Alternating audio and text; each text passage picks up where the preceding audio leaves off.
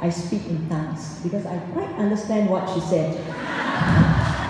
she spoke from the heart, and if you see that, that was also a gift from the heart, and that's from Malaysia. And we are truly thankful for those who have given us this gift of sharing their lives with us in affirming one another. And